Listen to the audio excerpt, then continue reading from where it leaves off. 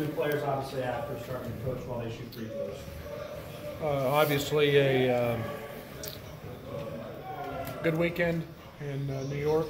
Uh, I was really, really proud of our of our guys. I, I, I, keep telling you guys how much I enjoy this basketball team, um, and and it's very much the case. Um, I think it's credit to Tevian, his resiliency. Uh, things haven't been easy for him, and yet uh, we started to see him blossom and see his talent. Uh, it was nice to keep him out of foul trouble uh, and keep him on the floor. I thought Alan did some great things. I thought Adonis, uh, even though it doesn't show in the stat line, his activity was uh, was very, very good. His, his physicality put a body on Bruno. And then um, it was nice to, to, to do what you're supposed to do at the end of a game, which is execute, get stops, um, and then make free throws. And, and to be noted also, I, Trent Frazier was incredible. Uh, the job he did on Anthony Cowan. Uh, we face guarded him, we took him out of it. Uh, we made other guys make decisions, and that put uh, Ayala and some of their other guys in, in discomfort and uh, that was that was a big reason the, the 21 turnovers. But uh, uh, 35 points off our bench. I thought our guards, uh, Andres in particular, did an unbelievable job of tracking down balls. The 50-50 balls became ours, and uh, that that uh, that leads to a win against a very very good Maryland team. You mentioned keeping Tevian out of foul trouble. Is that what you've been seeing from him since he's been back? That kind of play, but and keeping him on the court even uh, resonated that even further. Saturday. Well, you think about the Iowa game, you think about the first Minnesota game. I mean, he jumps up and hits a shot to start the game, and then he's he's in no rhythm because he's sitting on the bench next to me with with a couple of fouls, and and you know a lot of that I attribute to anxiety and nervousness and and just being back. Um, but uh, you know he's starting to be more comfortable. The ball looks great when it comes off his hand. He was on balance, and uh, you know that I think the, the one thing that uh, we know is he can he can really run. He's a very good shooter, and um, that was that was evident uh, Saturday in the Garden. What does it say about him that after the season that kind of had being suspended? What does it say about him that he didn't let that kind of beat him down and he still kept working, trying to get back in line?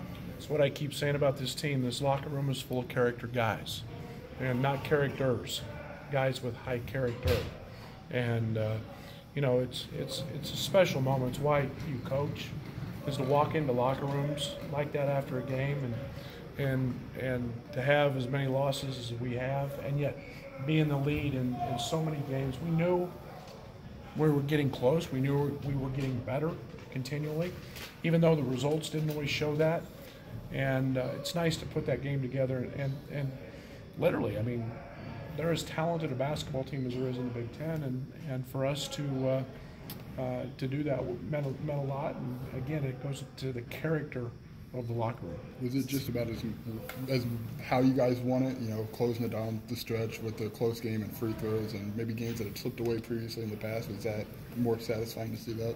Well, it's the way conference games usually go. You know, conference games are usually close. You have to execute. You have to get a stop, and you have to make free throws. And and uh, uh, you know, you look back one game, at the Wisconsin game. That's exactly what Wisconsin did to us.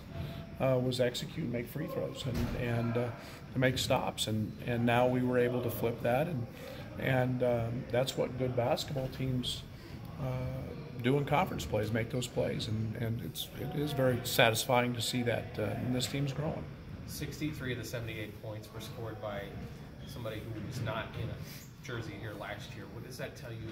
Does it say anything about you know the time it takes to to gel and come together on the over the course of the season? Yeah, it's really hard. And when you're playing at the highest levels and you're playing against teams that, uh, um, you know, Mark's been in Maryland eight, nine years, and and you start looking at uh, the Wisconsin program, and I'm not just saying Greg, I'm saying, you know, what what's been done there before. That system's been in place for 25, 30 years, and and it, it takes time to to develop a chemistry. It takes time to find a comfort. It takes time to find a confidence, and uh, we're starting to see that. And uh, you know, I, it's, it's nothing comes easy in basketball everything's really, really hard. And to have those kind of numbers from new guys, shows our growth. And I kept saying we would be a better basketball team month by month. The results haven't necessarily shown that, but we have gotten better. And, and you look at our defensive numbers, our defensive numbers have gotten steadily better throughout the year, and that's that's chemistry and, and, and understanding. So, um, yeah, I'm, I'm really pleased with it. How do you get Minnesota in their place? I'm sure they're going to be You thinking think? revenge. Yeah. You think? What's Uh, the challenge too, especially this quick of a turnaround since you last saw? Yeah, it's, uh, you know, it can be an advantage. Uh, having them this quick it could be a disadvantage. Uh, you know, we we're, we know we're getting a different Minnesota team than we saw here. And you look at the numbers; uh, the numbers don't lie. They've uh, Coffey, um, Gabe, Kalscheur, all those guys shoot it better at home. Uh, they play a little faster at home. Uh, so we know we're getting we're, we're getting a different team. Uh, that's a great challenge for us, and uh, we expect it. And we should be. We've had two great days of practice, and, and I expect us to go in there and no matter what the temperature is, and and uh, play our tails off. And that's uh, we've got to bring the fight. 27 fast break points, most you've had since you've been here. You had 21 against Minnesota, but how encouraging you got to take those steps there, and that's a big part of what you want to do. Well, pace is, is important, and I, you know, I think that, you know, that's one of the reasons we, we recruited Tevian. It's one of the re- reasons we recruited Alan. It's one of the reasons we recruited Ayo. Uh, you know, those guys can play that way, and uh, uh, when you when we play in space, we're a good basketball team, and, and uh, our turnovers have been limited, being able to do that. We're making better decisions, playing fast. That's one of the, the great challenges is, is uh, not just with, with a new team, but with any team is making decisions when you play with, with speed and pace. And uh, we're getting there. And, uh, uh, you know, we made it difficult for them to play both bigs uh, because Tevian was, was running the court so hard. And he's making shots. And uh, we get the floor space, then we can drive it. And that opened up Tevian and, or, and Ayo and, and, and Andres in their drives. So, um, yeah, one leads to the other, and I love those numbers. You mentioned how Tatum isn't really shy to shoot the ball. He com- comes in the game just instantly starts shooting. Is that kind of that role you could see him playing out, being that guy that's kind of instant offense off the bench for you? Well, he definitely likes to shoot it, um, and, and it's what, what he does. I think he's comfortable. I think he's uh, uh, there's there's not a lot of guys who can do that, who can come in and just instantly feel it and and and have the confidence to do that. And and uh, yet he's he's very good at it. And when when Tev's on balance, and um, he's shooting it, he's got such a quick release. And uh, that thing looks great coming off his hand. Every he's one of those guys that every time he shoots it, you think he's going to make it. And uh, um, we've been seeing that in practice. He's got another level of his game. He's got a great shot fake and, and a little floater and pull up. And uh, uh, you know he's a very gifted offensive player. So you know he's got some he's got some freedoms with that. Seems like Andres was just as if not more important in that game. What's been key for him that he's had a resurgence here last few ball games? First of all, it started on the defensive end for him. He's he's been super active defensively. He's chasing balls down, and uh, you know he's he's a he's a pit bull. You know, in terms of his mentality. You know, you saw him miss a layup and get one blocked, and chase a ball down from behind and, and make a tremendous hustle play. And then he turns around, and I think you, you find out his character. You know, it's he and Bruno one on one, and uh, you know he's jumping up trying to dunk that thing over the best athlete in our league, and uh, uh, that's either not very smart or really smart, but uh, uh, but that's his mentality. So uh, you know he's, he's playing with a lot more confidence, a lot more understanding of, of of you know he's not in junior college anymore, and all those drives he had in junior college ended up in layups because there's no size, and and now he's, he's he understands where he can spray it and and when he can finish. So he's um, he's becoming a more confident player as well. You mentioned with Tevian and his foul trouble against you know, Minnesota and Iowa, just that it might have been just uh, trying to find you know, some, some comfort and confidence in court. Did you see anything leading up to Saturday where you thought you know, maybe he had settled in and just found a You know, more I, comfortable spot? Or I don't think there was just one thing. I think it's just been a it's just been you know you have to go out there and do it. You have to you have to put the bright lights on and you have to play in front of people in in the seats and and you know you, we've seen the progression every day in practice. We've seen the confidence. He's had uh, great practices leading up to that, and so it was just a matter of time. I didn't know when it was going to come, and um, you know, Saturday happened to be a great day, and doing it in one of the great uh, venues against one of the best teams in the country.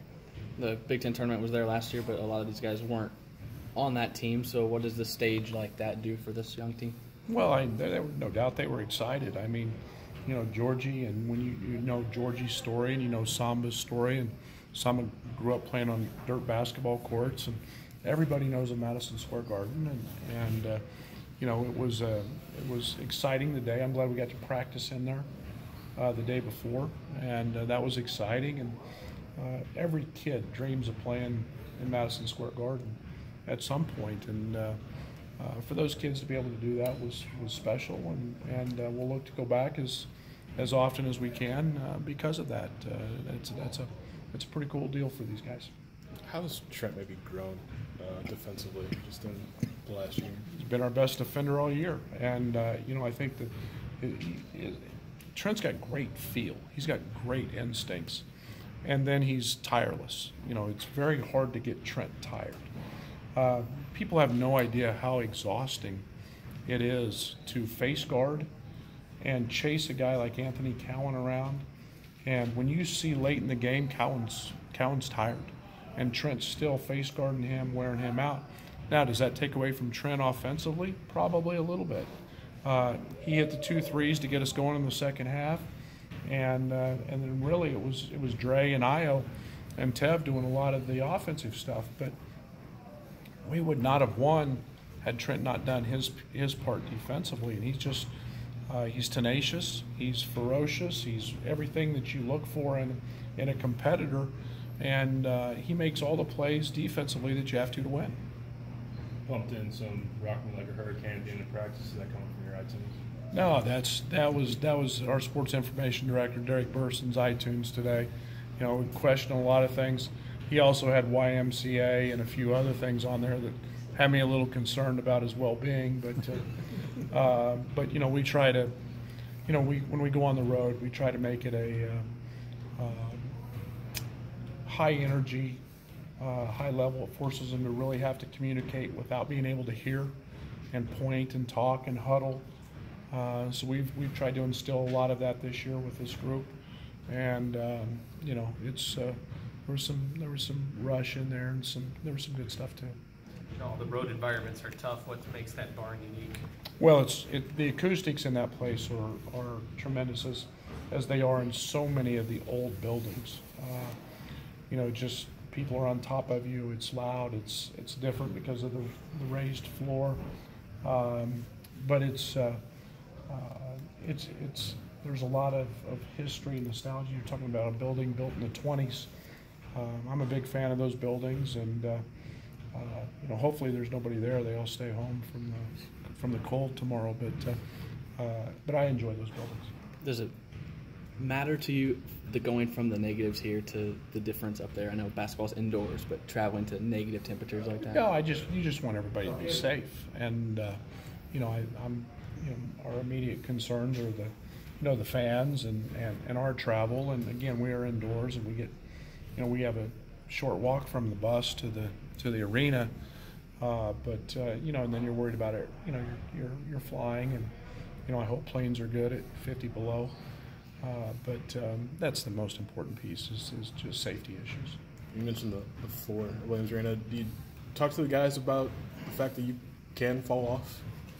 Nah, that'd give that'd be that'd be that'd give us one more thing to have to worry about. And uh, there's enough space there. I mean, I guess you dive for a loose ball and you're sweaty. You could you could fall off into somebody's lap, but uh, um, you know it, it, it's unique and and it's it's also kind of that big stage kind of feel and. There was a little bit of that in the garden, you know, because it's of the lighting in the garden. But uh, yeah, we'll, uh, we'll we'll not get too concerned about falling off. Coach, this is you know, arguably the biggest one of your tenure that you guys are coming out so far. With the young team, what, what was your message about going you know, back on the road after a win like that? Well, I, I think it's it's any. It's the next game. It's it's it's about learning. Um, you know, the last time we uh, when we beat Minnesota here, you know, our next next game wasn't uh, wasn't very good. We didn't handle that very well, and uh, you know now we get a, a team that we're familiar with. Yet we get a team that we know is going to be angry, um, and it's about the every game, every day mentality. We haven't changed that, um, and yeah, I want them to I want them to feel confident because we beat a really good Maryland team, and the, you know now it's the next step, which is the the toughness, the aggressiveness to do it again, and uh, and know that the way people look at you may change, and um, you know we we got to respond to that. So we've been good the last two days in practice, so we'll hope that continues. Have you talked to Ted at all about, you know, just kind of the increased attention that he's received just as a result of his breakout performance? Nah, I just you know he's. I just told him I was really proud of him. You know, I was. I'm as happy for that young man as as as anybody, and you know to to to go through the natural progression and stick to stick with it. Um, pretty proud of that kid. Thanks, guys. Thanks, coach.